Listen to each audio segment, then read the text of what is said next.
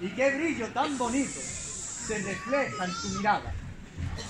Y qué bendición tan grande para todas estas casas es que pases por tu calle, que por ti ya se engalana. Hoy te pido, Señor mío, por aquellos que descansan en tus manos tan benditas en continuas alabanzas.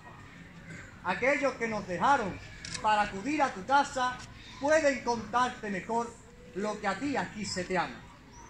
Qué privilegio tan grande que la oliva sea tu casa por tan solo unas horas que muy rápido se pasan.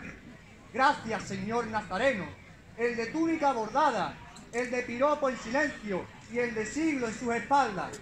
Gracias, Señor Nazareno, por bendecir nuestras casas, por llegar aquí tan lejos y por darnos esta estampa. Señor, la oliva te espera. Sigue que ahora es tu casa. Sigue, Señor Nazareno, que te espera tu esperanza.